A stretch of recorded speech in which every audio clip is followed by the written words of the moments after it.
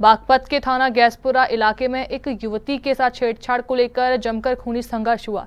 इस संघर्ष में महिला समेत करीब एक दर्जन लोग गंभीर रूप से घायल हो गए, जिनका इलाज अस्पताल में चल रहा है। सिंघावाली अहीर थाना क्षेत्र के गौसपुर गाँव में उस समय एक संघर्ष, खूनी संघर्ष में तब्दील हो गया, जब यहाँ के रहने वाले की युवक ने गाँव की युवती से छेड़छाड़ कर दी। फिर क्या था? दोनों पक्ष आमने सामने आ गए। जमकर लाठी डंडे चले, जिसमें कई लोग गंभीर रूप से घायल हो गए। जी वो लड़का छेड़ा था गली में उस लड़के ने मेरी बुआ वो मेरे प- मेरी बुआ के पास गया वो कौन? किसका लड़का? ईश्वर का लड़का है वो मेरी क्या नाम है? सुमित नाम है। अच्छा।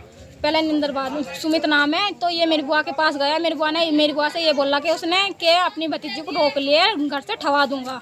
और अपने माँ, अपने भाई बहन अपनी भाई भाभी को भी रोक लिया घर से ही मरवा दूँगा। ये बात हुई, हम इसलिए वहाँ थाने, वहाँ से गए, सिंघावली थाने में गए हम। तो हमने रिपोर्ट कराई वहाँ से हमारी दस बजे लो भी, दस बजे लो भी हमारी कार्रवाई कुछ नहीं हुई। फिर भी उस, उसका बड़ा भाई है उसके बड़े भाई ने मेरी बुआ से ये बोला कि तेरे छोटे छोटे बच्चे, तू विधवा होगी, कैसा करेगी, तू मेरे से शादी कर ले। ये बात थी हमारी दस बजे लोग कुछ कार्रवाई यही कारण है झगड़े। इस खूनी संघर्ष का वीडियो बागपत में जमकर वायरल हो रहा है जिसमें साफ़ देखा जा सकता है कि लोग किस तरह एक दूसरे को लाठी डंडों से पीट रहे हैं। कल तक जो पड़ोसी थे वह आज एक दूसरे की जान के दुश्मन बन बैठे हैं। पुलिस ने अब इस मामले की जाँच शुरू कर दी है। थाना सिंधावली ही जनपद बागपत के गाँव भोजपुर में पड़ोसी पड़ोसी ईश्वर व महेश में झगड़ा हो गया। झगड़े के उपरांत दोनों पक्ष के लोग चोटिल हो गए। चोटिलों का मेडिकल कराया गया।